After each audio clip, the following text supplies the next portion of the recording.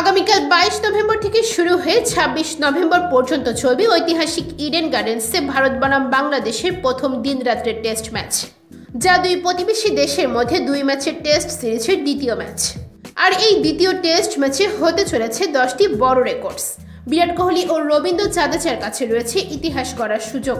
দর্শক, সবগুলো রেকর্ড জানতে সম্পূর্ণ খবরের সঙ্গেই থাকুন। ক্রিকেটের সব আপডেট পেতে সাবস্ক্রাইব করে বেল বাটনে ক্লিক করুন। নাম্বার ওয়ান ভারতের বাংলাদেশের মধ্যে ক্রিকেট ইতিহাসে দশটি টেস্ট ম্যাচ খেলা হয়েছে।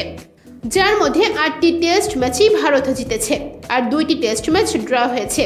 যদি বাংলাদেশ ইডেন গার্ডেন্সে টেস্ট ম্যাচে জয় পায়, তো ভারতের বিরুদ্ধে এটি তাদের প্রথম টেস্ট জয় হবে। নাম্বার টু বিরাট কোহলি যদি এই টেস্ট ম্যাচে সেঞ্চুরি করেন, তো তিনি বর্তমান সময়ে খেলা ক্রিকেটারদের মধ্যে সবচেয়ে বেশি টেস্ট সেঞ্চুরি করা ব্যাটসম্যান হয়ে যাবেন। বর্তমানে স্টিভ স্মিথ আর বিরাট কোহলি দুজনের ঝুলিতেই ছাব্বিশটি করে সেঞ্চুরি রয়েছে। নাম্বার থ্রি, রবীন্দ্র জাদেজা যদি একটি মাত্র ছক্কা মারেন, তাহলে এই ম্যাচে তিনি নিজের টেস্ট ক্যারিয়ারের পঞ্চাশটি ছক্কা পূর্ণ করবেন। নাম্বার ফোর, রিধিমান সাহা যদি এই ম্যাচে একটি ডিস মিসাল করে ফেলেন, তো তিনি টেস্ট ক্রিকেটে একশো ডিস মিসাল করা পঞ্চম ভারতীয় উইকেট কিপার হবেন। নাম্বার ফাইভ চেতেশ্বর পুজারা যদি এই ম্যাচে দুইটি ক্যাচ নেন, তো তিনি টেস্ট ক্রিকেটে নিজের পঞ্চাশটি ক্যাচ পূর্ণ করে ফেলবেন। টেস্ট ক্রিকেটে পঞ্চাশটি ক্যাচ নেওয়া তিনি ভারতের পনেরোতম খেলোয়াড় হবেন। নাম্বার সিক্স বাংলাদেশের মুশফিকুর রহিম যদি এই ম্যাচে সাতটি চার মারেন, তো বাংলাদেশের হয়ে তামিম ইকবালের পর পাঁচশো বাউন্ডারি মারা দ্বিতীয় খেলোয়াড় হবেন মুশফিকুর রহিম। নাম্বার সেভেন মেহেদি হাসান মিরাজ নিজের একশো টেস্ট উইকেট থেকে মাত্র দশটি উইকেট দূরে রয়েছেন। তার কাছেও এই ম্যাচে নিজের একশো উইকেট পূর্ণ করার সুযোগ থাকছে। যদি তিনি এমনটা করতে সফল হন, তো একশো উইকেট নেওয়া বাংলাদেশের চতুর্থ খেলোয়াড় হবেন।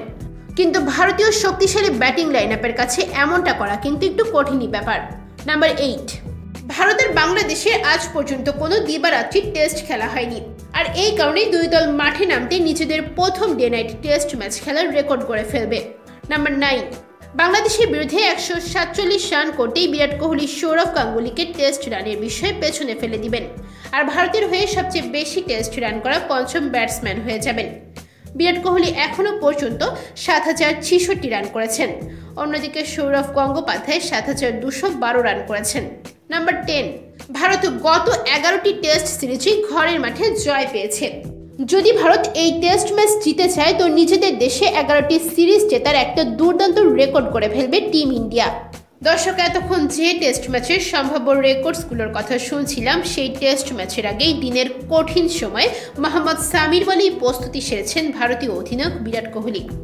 টিম ইন্ডিয়া প্রথমবার তিন রাতের টেস্ট খেলতে সম্মতি হওয়ার পর থেকেই ভারতীয় ক্রিকেট মহলে গোলাপি বলে কীর্তিমালয় ক্রিকেট খেলার চ্যালেঞ্জ নিয়ে আলোচনা শুরু হয়েছে।